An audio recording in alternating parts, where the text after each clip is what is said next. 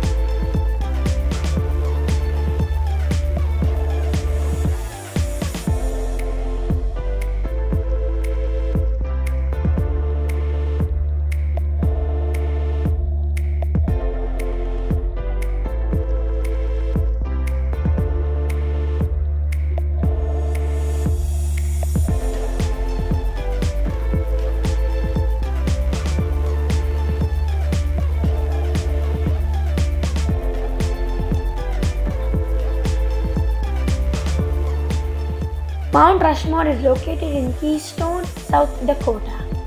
Mount Rushmore National Memorial is famous for the sculptures of four former US presidents. The sculpture features Presidents George Washington, Thomas Jefferson, Theodore Roosevelt, and Abraham Lincoln. The four presidents represent the nation's birth, growth, development, and preservation. Gutzon Borglum a famous Dutch American sculptor, is the chief sculptor for the Mount Rushmore project.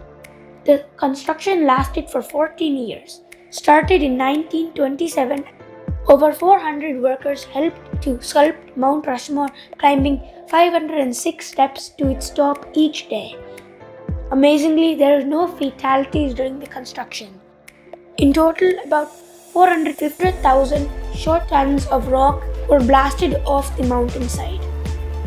Total cost of the project is 1 million US dollars at the time of the project completion. Each of the president's heads are 60 feet high, which is as high as a six story building. Their eyes are 11 feet across, their noses are 20 feet long, and their mouths 18 feet wide. Trained mountain climbers do the maintenance such as cleaning and sealing of cracks. A cave called the Hall of Records sits behind the monument. It contains the text of the Declaration of Independence, the Constitution, biographies of the four presidents, and history of the United States. Thank you guys for watching. Hope you guys enjoy, and I'll see you in the next video. Bye!